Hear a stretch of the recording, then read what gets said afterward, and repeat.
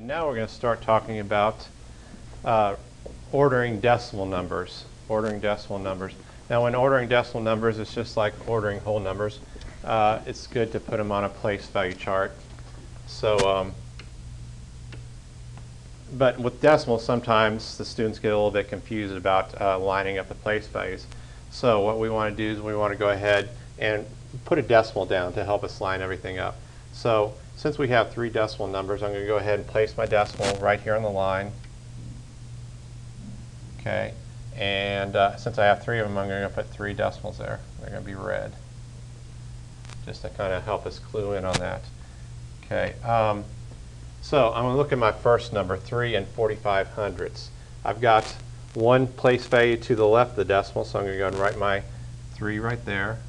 Okay, and I have 2 to the right, which is a 4 and the 5 for 45 hundredths. Okay, on my next number, uh, 9, uh, 976 thousandths, I have three decimals, or three place values to the right of the decimal.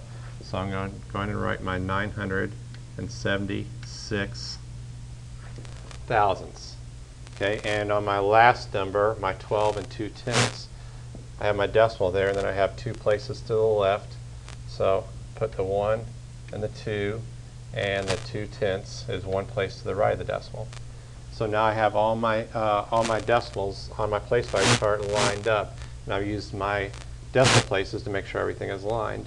Uh, some, uh, just to make it a little bit easier for the students, so go ahead and put zeros in all the places that uh, doesn't, don't have a digit.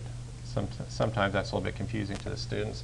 So if you go and put zeros in there, it gives them uh, a good solid number to compare it with. So like I said, we're always going to start in our largest place value, which is the tens place. Okay, and when I'm looking at the, the tens place there, I can see that um, I have a, a zero, a zero, and a one. So automatically I know that my 1 is my largest place value. So that's going to be my first one in my order. So I'm going to go ahead and label that with a 1. Okay, that's going to be my first one. Okay, uh, I go over to uh, the ten, uh, the ones place now. Okay, I'm looking at the ones place. If I look in the ones place, I have a 3 and a 0 again. So automatically, uh, I know I've already used this one, so I'm not using my last one anymore, so I'll put a line through it. Um, I have a 3 and a 0, so automatically I know that's going to be my, my second number in my order. And automatically, uh, I, that leaves me the 9, 976 thousandths. That's going to be my third in my order.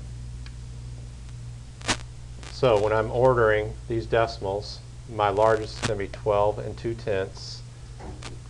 My next largest is going to be 3 and 45 hundredths, and my smallest is 976 thousandths.